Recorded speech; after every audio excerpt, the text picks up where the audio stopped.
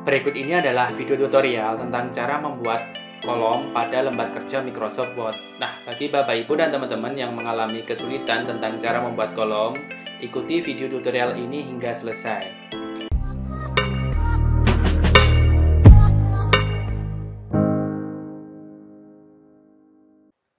Assalamualaikum warahmatullahi wabarakatuh. Kembali lagi bersama channel Sepatu PS.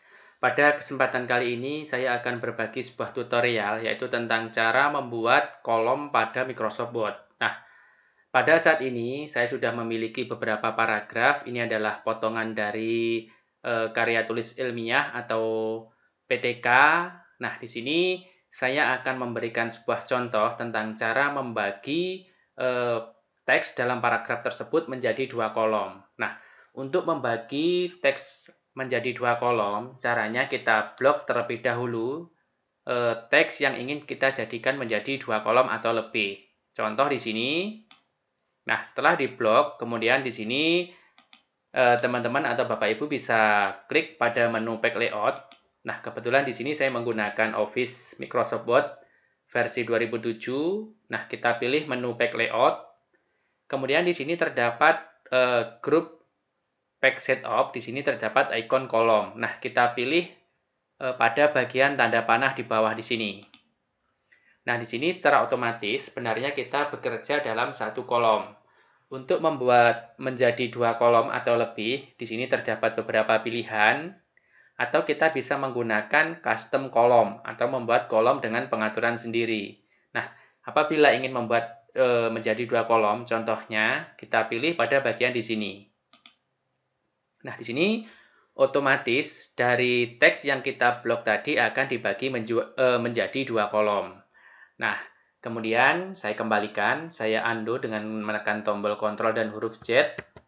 Nah, bagaimana cara kita menggunakan atau mengatur teks yang kita blok tersebut menjadi beberapa kolom dengan ukuran yang berbeda. Atau misalnya, bagian sebelah kanan lebih lebar dan bagian kanan eh, kiri lebih kecil. Nah, kita blok terlebih dahulu teks yang akan kita bagi menjadi dua kolom atau lebih.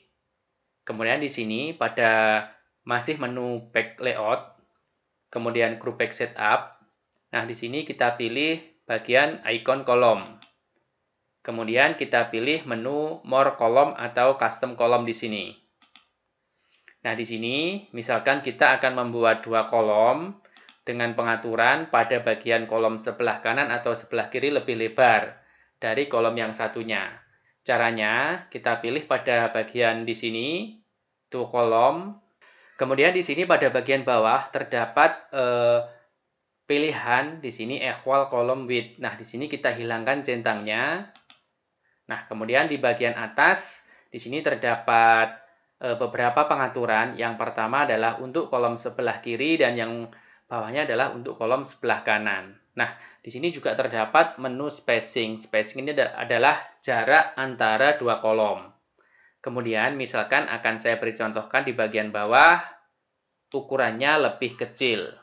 Misalkan kita buat tiga.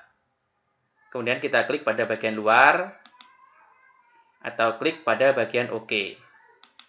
Nah, maka pada kolom sebelah kanan di sini akan menjadi lebih sempit daripada kolom yang ada di sebelah kiri. Nah, di sini untuk lens spacingnya jaraknya amat, e, amat sangat e, lebar. Nah, kita bisa mengaturnya pada bagian atas di sini.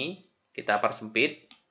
Nah, atau pada bagian sebelah kanan ingin lebih lebar, kita tarik. Nah, berikut pengaturan tentang membuat dua kolom dengan lebar yang berbeda. Lalu bagaimana?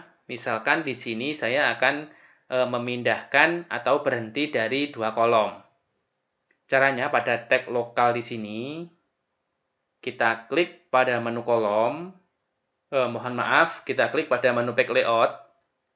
Kemudian di sini pada grup pack setup masih terdapat ikon bricks. Nah, kita pilih pada tanda panah Kemudian kita pilih menu continuous. Ada pada bagian ada pada bagian di bawah di sini.